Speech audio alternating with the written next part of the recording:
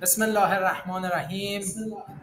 My Lord, uplift my heart for me and make my task easy and remove the impediment from my tongue so people may understand my speech. Ladies and gentlemen, welcome to the international webinar on Islamic financial rating methods. I'm Ali Reza Kamandi, Secretary of International Affairs at the Iranian Association of Islamic Finance. Today we have a great pleasure of having Dr. Muhammad Imran Ashraf Usmani. He is a chairman of Sharia boards and uh, one of, and head of the academic institution of Usmani in Pakistan. He is going to talk about the some methods or some readings of Islamic financial rating methods, and uh, definitely it will be a really educative and informative presentation. And uh, I want you continue and be with, stay with us till the end of the presentation. And before starting the presentation, uh, let me I uh, share some points with you. If any attendees have a question, you can raise your question through two ways. One of them is uh, to use the raised hand icon to show that you have a question and then you can uh, your microphone can be activated to raise your questions or you can go to the chat box and type your question there. So i'm not going to speak too much because our uh, presenter is uh, fully prepared. Uh, dr ashraf usmani here you are. Please for yes the floor is yours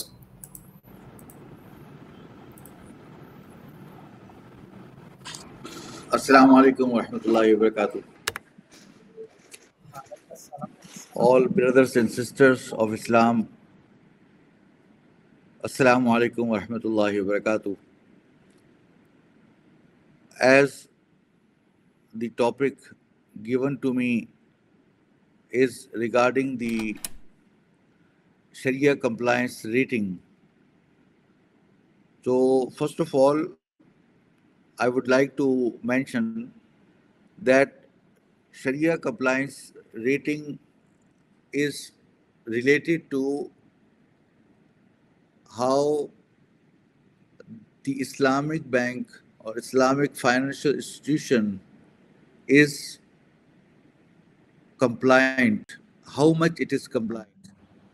And if, for example, their compliance is not very high. So it means that it is not fully compliant or it has, for weakness in compliance. As you know that there are two types of rating. One rating is called credit rating and the other was other is called Sharia compliance rating the subject for the Sharia scholar is not regarding the credit rating. Credit rating is for the bank's credit, credit worthiness and to see that whether the, the Islamic bank or the Islamic financial institution is so strong in to give a credit or to decide whether to give the credit or not, or which limit should be assigned to take a risk on that to, for giving a credit or financing to them. The second type of rating, which is the relevant to us, which is Sharia compliance rating, in which we decide that what parameters, what criteria should be adopted by Islamic Bank to abide by, to follow, so that it we could say that it is completely Sharia compliant and basically it on, not only fulfills the requirement of the some basic of the Sharia, it also fulfills the requirement of objectives of Sharia or Islamic economy, what basically Islam says about the economy. So we would like to see in this way. I tried to find out uh, through my resources that if anybody is working on this on this concept or not working. So there is an uh, there is a, one international institution which is called IIRA, International Islamic Rating Agency. So I talked with with uh, his uh, CEO and chairman, and uh, I requested him to send me the criteria. He sent to me, uh, and I checked that criteria, but it covers some points which I am going to present to you, but not fully. And he was mentioning that there is an institution which is called AAOIFI, Accounting and Auditing Organization of Islamic Financial Institution. And there is another body which is called IFSB, Islamic Financial Services Board. So he told that they have issued some guidelines regarding Sharia compliance rating. So we are following that. But last night I checked with my father, Honorable Mufti Muhammad Taqi Usmani, that whether they have issued any particular guideline through IFSB or AAOIFI regarding the Sharia compliance rating or not. He told that still we have not issued any particular guideline so far, all, although they wanted that it should be worked upon and we should work on this uh, project and inshallah we should do so. Then i showed my this presentation and uh, uh, the one article which i sent to uh, to, to to you uh, the complete article which defines all the parameters how the compliance uh, rating should be uh, made. So that article i have showed last night to my honorable father he's he appreciated after seeing that thoroughly and told that it could be a good basis for a starting point to make a real Sharia compliance Islamic rating authority or body to rate that. So now we should start uh, about the rating and how what are the basically challenges and how we can do that uh, uh, to ensure that whether it is completely Sharia compliance or not.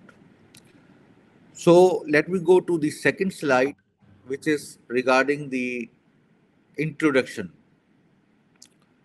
You know that basic principle of doing Islamic finance or Islamic banking is to avoid basically from three, th- three things.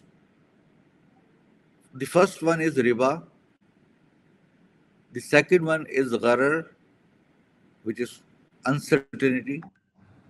And the third is maisir, like gambling or speculative transactions. And you know that it is very much important as per the teachings of the Holy Quran and teachings of the Holy Messenger Muhammad Sallallahu Alaihi Wasallam that we should avoid from these things riba, gharar, and maisir. And we should transact, we should do our business in a Sharia compliant way. It is very much important to know that if we are doing a right or halal or permissible business or we are not doing.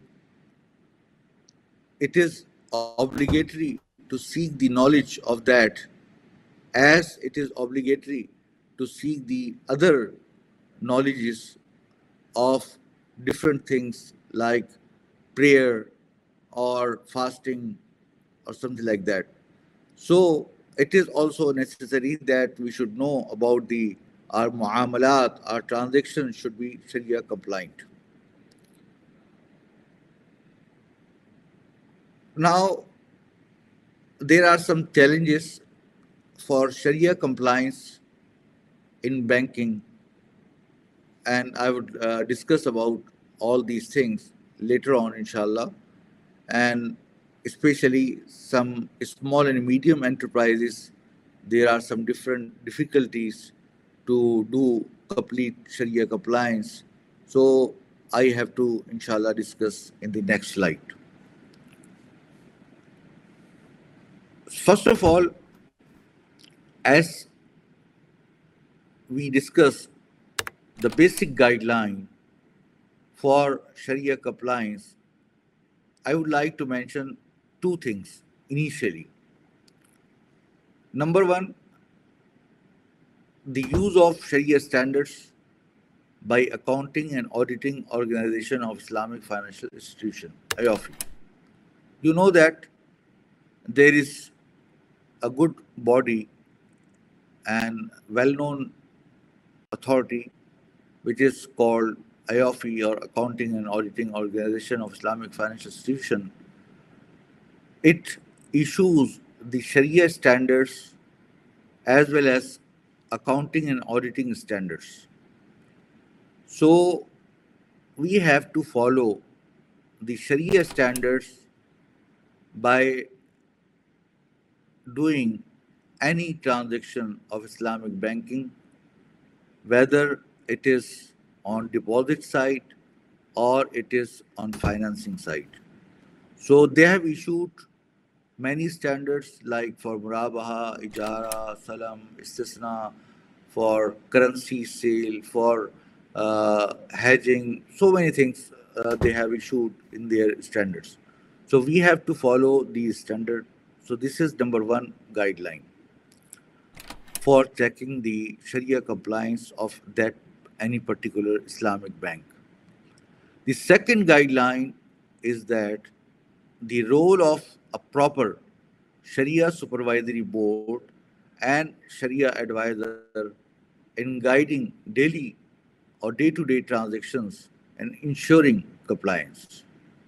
There should be a proper Sharia supervisory board that has the authority to supervise all the operations of Islamic banks and to see or ensure that whether these banks practices and transactions are completely Sharia compliant. And for assisting him, he should engage a good and learned Sharia scholar as Sharia advisor to give guidance on day-to-day basis for their transactions. Now we come to some other guidelines besides these two guidelines.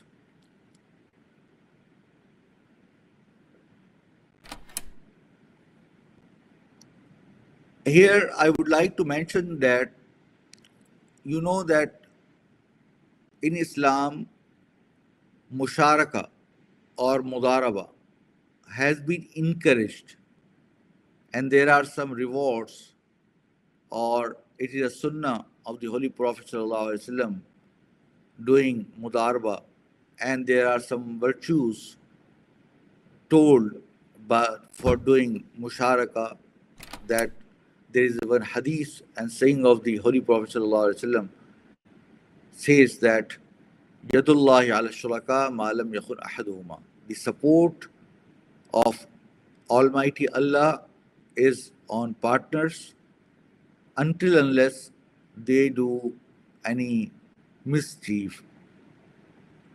So it means that for the partnership, there is a support from Allah.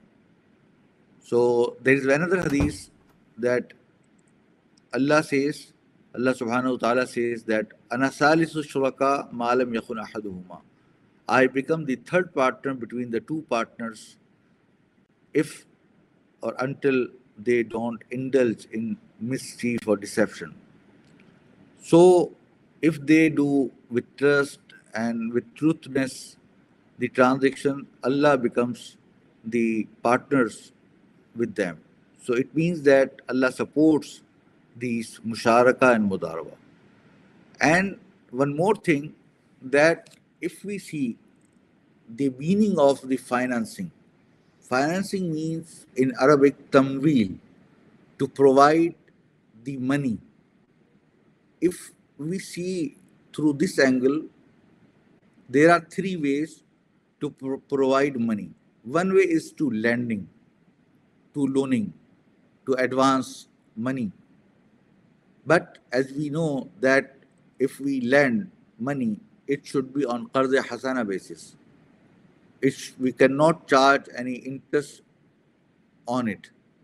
It is forbidden. The second way that mudaraba, we can give a particular person some money to do business. So the person who gives money is called Rabbul Mal, and the person who works is called working partner or Mudarib.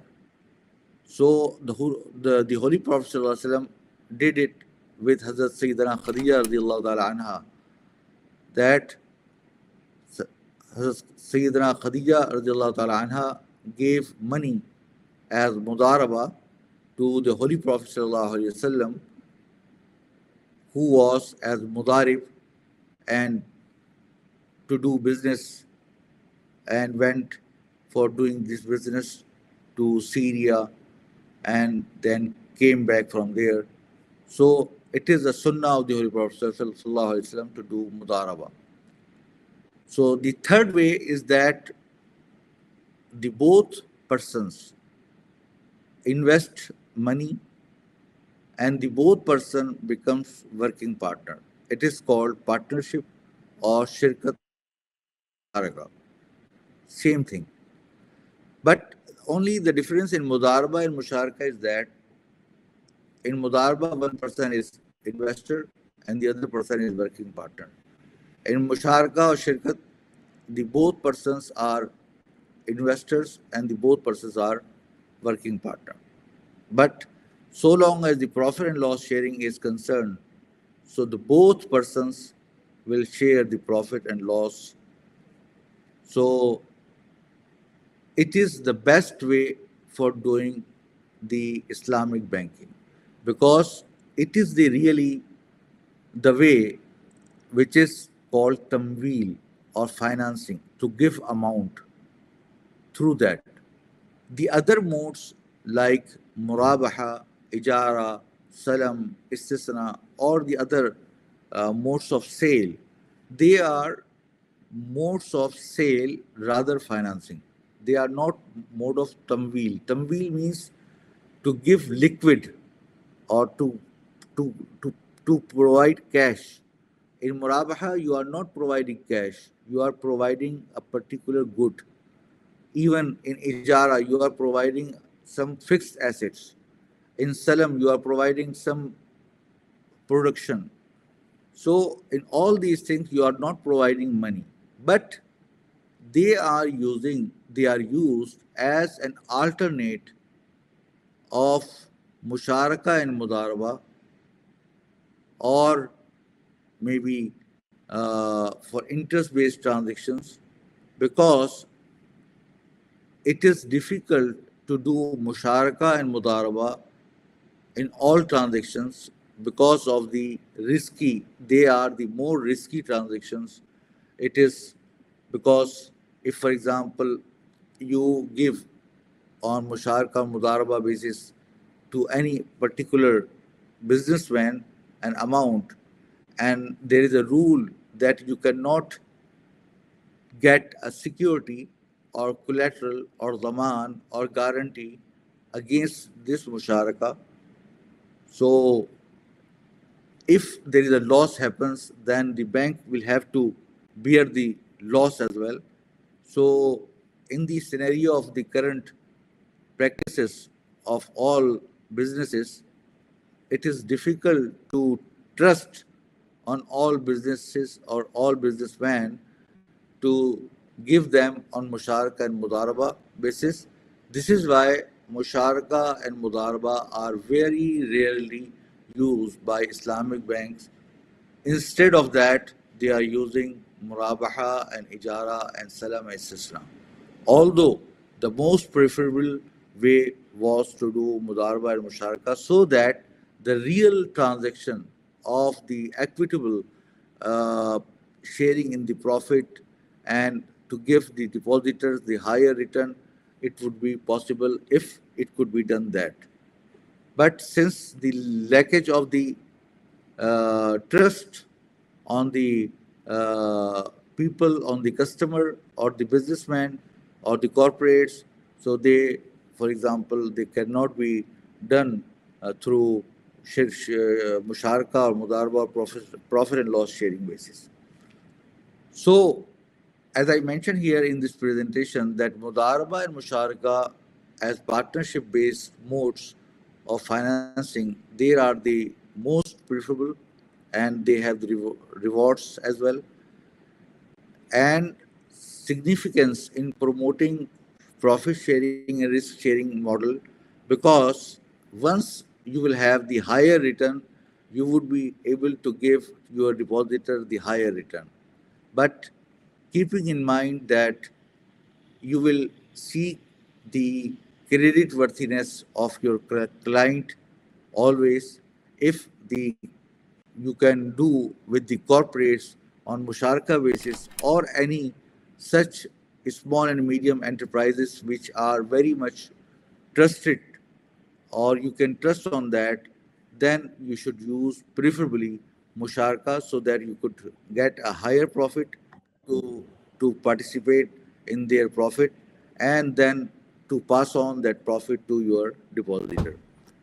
Their usage on both liabilities, deposit, and asset financing sides, especially with corporate for higher return and low risk. Here, I would like to mention to you that in the banks there are two sides if you know the accounting. So one is called the liability and the other called is asset side. Liability side is which where you take money from the people from the public as deposit as vadaya and the business bank does usually is financing it is called asset side. So I'm saying to you that all Islamic banks do on their deposit side usually musharaka and mudaraba, musharaka or mudaraba. But on the asset side, they avoid to do musharaka and mudaraba due to heavy risk. But I'm recommending that if, for example, we find credit-worthy people to transact with through musharaka and mudarba basis with them, so we should encourage that. So we should see that how much percentage of the portfolio if is of musharaka or they are not using musharaka or mudarba at all. Secondly, Challenges with Mudarba and musharaka in SME financing. The challenges Islamic banks face when using musharaka and Mudarba, musharaka, Mudarba and musharaka for SME, small and medium enterprises financing, such as higher risk and exposure. You know that if, for example, if we give to uh, to medium enterprise or low enterprise, any on Musharka basis, any financing. So his business is not maybe not profitable. He will get a loss so that ultimately banks get a loss and he will not pass on the profit. So this is why it is challenging, challenging to do musharka and mudarba with them. The preference of secured financing methods like murabaha, ijara, salam, etc. to protect depositors' funds.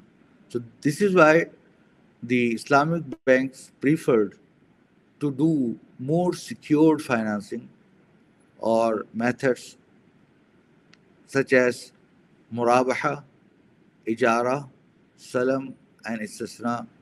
And the purpose to do that to protect the depositors' fund and to make them more secure. Now, whether they are doing musharka, mudarba, or other modes of financing like murabaha, ijara, salam, istisna, or whatever,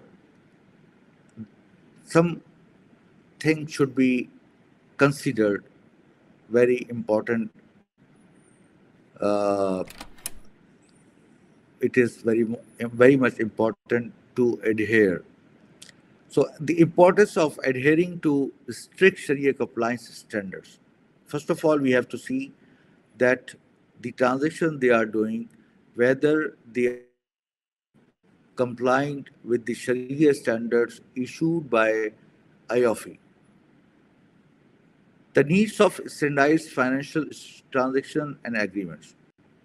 You know that previously, once there was not Sharia standards available, or in the countries where these Sharia standards are not followed by, the problem is that they have different Sharia scholars to guide them, and they have their own some understanding and their own uh, uh, views. They could different from each other. So while transacting mutually by one bank to the other bank, it makes some confusion that which view should be adopted. Once there is a standard Sharia principle or Sharia standardized agreements are used, as for example, IIFM, there is an institution which issues the standardized agreement of murabaha or some ijara or sukuk, something like that. So we should use these things so that everybody which should be with the harmony and with the same standard. There should not be any dispute or any confusion. So the third thing is that the significance of regular and proper audit to ensure the transparency. We should also regularly audit and ensure uh, that whether these transactions are complied with the and executed properly in compliance with the Sharia standards. So we should review that on that basis. Another thing we should keep in mind about the Islamic banks is training or capacity building.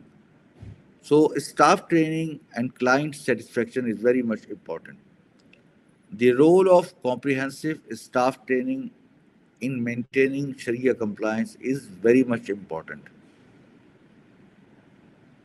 The impact of satisfied clients on the bank's reputation as a Sharia compliant institution is very high.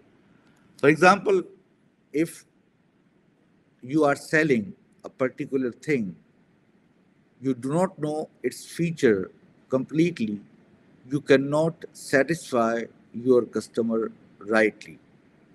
So, for any seller, if you are selling any product, you you must know about the features of that product so that you could tell about your customer its all benefit and all specification so so as the islamic financing that whenever you are doing any particular transaction with your clients so you should completely have awareness of its features and about the product so that you can transfer that knowledge to your customer so that your customer will be completely satisfied and he could say, yes, I can say that it is 100% Sharia compliant.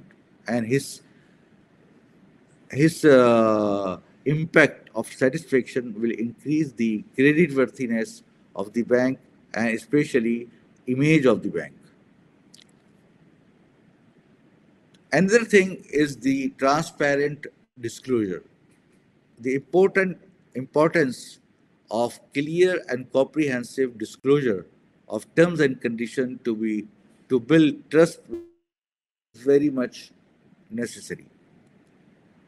You know that there is a usul, there is a principle of the holy uh, of, of our Islamic teachings that the transaction should not be uncertain. There should not be they should not be uh, vague There, there should not be any gharar or jahala which can lead to any dispute. So, التاجر الصدوق الأمين مع النبيين والصديقين والشهداء. So, so truthness, transparency in each and every transaction, it is very much important. To deceive, to deceive the people, to misguide the people, it is completely haram in Sharia. So how transparency enhances the bank Sharia compliance rating, it is very important that if we, should check that each and every term is very much transparent and they are known to or they are told to their customers very rightly or not. So it also gives some weightages to the rating of any particular Sharia bank, Islamic bank. Next is avoiding deception. You know that to deceive other, man ghashana falaysa minna. So who deceives us, there is, he is not from Muslims. So deception is very wrong thing. So sometimes, for example, bankers say that you should open or keep your money in that particular account, you will get high return. Nevertheless, or although it was not the fact, maybe it would have lower return or more risky transaction. So the people, especially the who are marketing the product, should present all product very prudently, very transparently, not deceiving anyone. It is part of the responsibility being a Muslim as well. So it should be the Muslim organization or Islamic organization or Islamic banks so that they should do anything that the people would understand that they are not anyway deceiving the people. So, how these party practices can negatively impact the Sharia compliance rating? So, we have to see that if there is a deception of the people, they are doing that in, in, in such way which will basically uh, come under the uh, deception. It is completely haram. It will lower the rating of the bank as well. Another thing which is the balancing next is uh, balancing the impact on different socio-economic groups. The significance of catering to all socio-economic groups, not just wealthier clients. You know that the Holy Quran says that نحن قسمنا بينهم معيشتهم في نحن قسمنا بينهم معيشتهم uh, that Allah has distributed their wealth.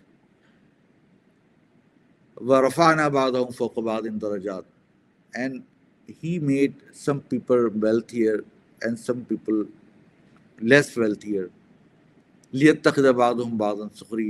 So that the people could take from the others some duties. So it is a natural that all people cannot be equal in wealth 100%. But there should be a difference. Some should be wealthy, some should be poor. But there is another hadith, there another uh, verse of the Holy Quran that Kaila Yakuna Dulatam Bainal Agniyai Minkum that your wealth should not concentrate in few hands. Some few hands of some few wealthy people will be the owner of the all, all wealth. For example, in the banks, if they concentrate to only the corporates, and they will not give the a good balance for creating to small and medium enterprises. So all your wealth of the masses will go to few hands. Or, for example, you are not giving to your depositors a good return and you are giving the benefit only to equity holders, it means that you are giving the all profit, all benefit to wealthier people, not the, the masses or the public at large. So we have to see, as per the rules of distribution of wealth on fair basis of Islam, that whether this rule have been applied in these Islamic banking and there is a balance of how much good return is giving to depositor and how much that portfolio of their financing comprises of not only corporates, small and medium enterprises also. So the importance of inclusivity to reflect Sharia principles positively, it is very much important to be equitable and more fairly basis for distribution of wealth as per Islamic teachings. Now we come to the conclusion. So importance of Sharia compliance rating is very much important. I, as I mentioned to you, until unless we abide all these principles, we cannot say that it is fully or perfectly Sharia compliant. The need for comprehensive staff training, tra transparency, disclosure, and client satisfaction is very much important. The benefit of maintaining a high level of Sharia compliance for the bank's reputation and the preservation of Islamic values is also very much important that it should look that we are really providing any contribution for our ummah, for our Islam, for Muslims, for our community, for human being, for every person, for any poor, not only for a certain people. So that's how we should do for contribution and to service for the uh, because khairun nasi nas the best persons are those who are the productive of the others so the islamic bank should reflecting those things that they are very much uh, basically beneficial for the whole ummah whole masses or whole public at large uh, and they are giving a good distribution a fair distribution of wealth and causing for that for that in their transaction. So that's how inshallah if we do that it will create a good rating. The need of sharia compliance rating authority to evaluate bank based on sharia compliance guidelines. There should be a need that we should see. There is a i think uh, another body which is fitch uh, f-i-t-c-h uh, this is also do i think sharia islamic rating but i don't know how they are doing sharia compliant rating.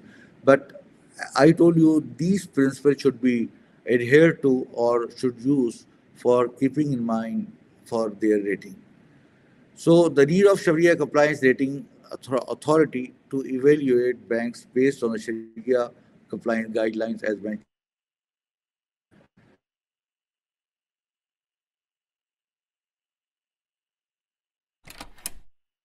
Just see that if, for example, if they get that rating, then it means that it has that much Sharia compliance. So higher the rating, so higher the Sharia compliance, or lower the rating, or lower the Sharia compliance. That's all uh, was my presentation, which I worked for you. Inshallah, I hope that it, it will be very useful and I will pray from Allah Almighty that it will accept from me and we should work on that to make all Islamic banks completely and uh, Sharia compliant and very, very much beneficial for Ummah at large. Thank you very much. Jazakallah khairan. Ahsan